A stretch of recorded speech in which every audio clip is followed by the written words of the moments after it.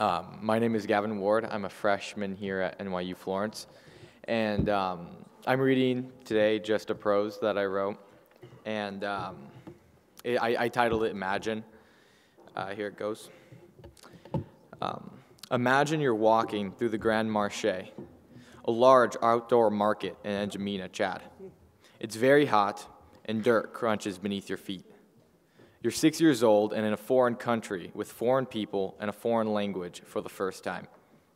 You're scared, confused, so you clench onto your mother's arms as she pulls you along, looking at various market goods, such as paintings or masks made by the locals. Each stand you walk to, you hear the cheerful and friendly, Ah, bonjour, madame, and then he or she proceeds to try and sell whatever it is he or she is selling to your mother for a large sum of money because they know you're both not from there. You're young and naive and curious as to why the people in this new world are so different from you. The sun stands centered in the sky and is followed by loudspeakers singing Islamic prayers. Everyone unknown around you begins to pray to the voice they hear. You, your mother and father, Stand there in respect and wait for the prayers to finish, but do not pray along.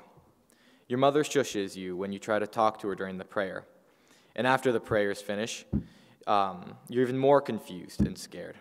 And so you look up at your mother and ask, What are these people doing, Mama? This is a defining moment in your life. You're scared and confused and expect an answer. You're looking for a response that will define how you view these people. Should you be scared or shouldn't you be?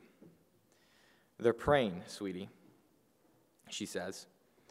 But why do they pray differently than we do, you ask? Because that's how they choose to pray. It's no better or worse than how we pray. Just because they're different doesn't mean they're wrong.